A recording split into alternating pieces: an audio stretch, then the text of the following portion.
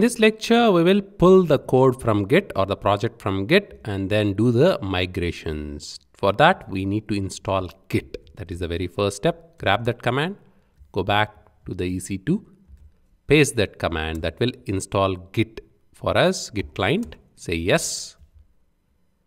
Once that finishes, you can grab the next command, which is to clone the repository from GitHub.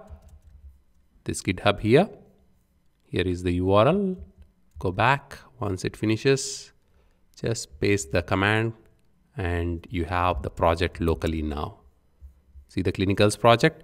Go inside it. Let me clear this up. Cd clinicals. And you can just run this like any other Django project. The first step is to do the migrations.